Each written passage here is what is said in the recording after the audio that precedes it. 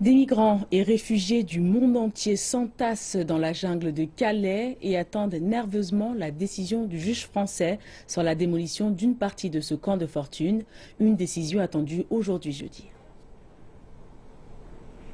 Les associations d'aide affirment que le futur de quelques 3400 personnes est en jeu, parmi lesquelles plusieurs centaines d'enfants non accompagnés. Ils sont originaires d'Afghanistan, d'Irak et de Syrie, et certains d'entre eux n'ont que 10 ans. Le centre du camp pour femmes et enfants offre nourriture, vêtements et activités. Les bénévoles expliquent que certains des enfants du camp, arrivés ici traumatisés et violents, ont recommencé à jouer comme des enfants normaux. Mais ils craignent que tout cela n'ait servi à rien s'ils sont expulsés.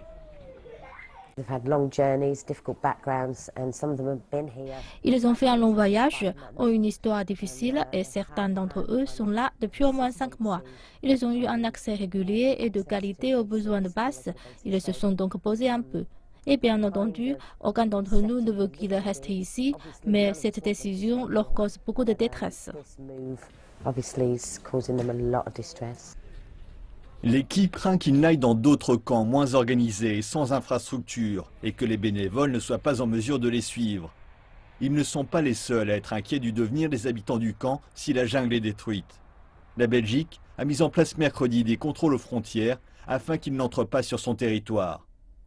Les autorités françaises indiquent que l'insalubrité du camp et les incidents de violence qui s'y sont déroulés les ont poussés à accélérer leur projet de détruire une partie du camp et de reloger les réfugiés dans des conteneurs réaménagés. La plupart des réfugiés affirment ne pas vouloir aller dans ces conteneurs et craignent qu'une fois enregistrés en France, ils ne puissent plus parvenir à leur destination, la Grande-Bretagne. Les associations d'aide estiment que Londres doit prendre ses responsabilités et accueillir les personnes ayant des liens avec la Grande-Bretagne, et ont à cet effet déposé des recours au nom de plusieurs personnes en Angleterre. La loi permet aux familles d'être réunies.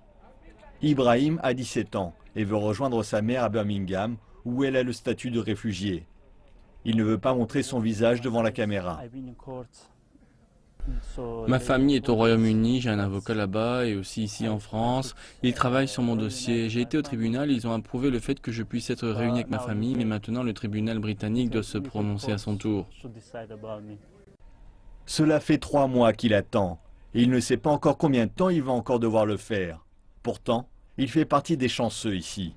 La plupart des réfugiés n'ont en effet pas accès à un avocat et n'ont nulle part où aller si le camp est détruit.